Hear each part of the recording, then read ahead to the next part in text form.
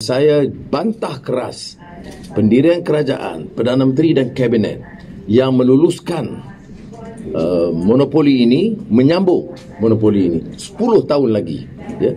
Saya sebab itu uh, seperti mana saya tekaskan kepada Perdana Menteri hari Isnin, ini kerajaan dia tak berani langsung uh, berunding uh, meminta sedikit penyesuaian dengan syarikat-syarikat besar.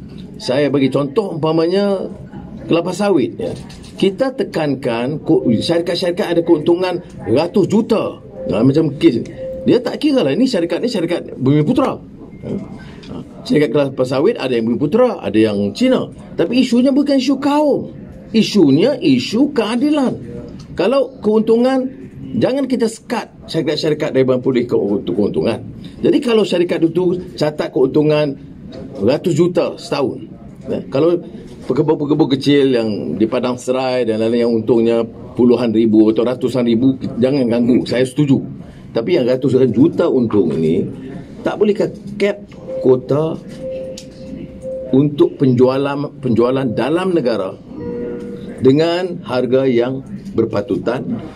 Dia mencatat keuntungan tapi tidak besar ikut harga pasaran antarabangsa dia bukan dia istilah untung rugi ni relatif kena ingat ya. Dia tidak rugi. Dia cuma kurang keuntungannya ketimbang penggunaan uh, antarabangsa.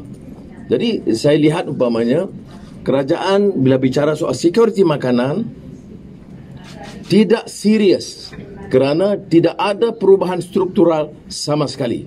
Yang ada hanyalah sedikit penyesuaian itu tambah subsidi dan subsidi itu selalunya seperti minyak dan gas memberi keuntungan langsung kepada semua termasuk T20 dan golongan kaya.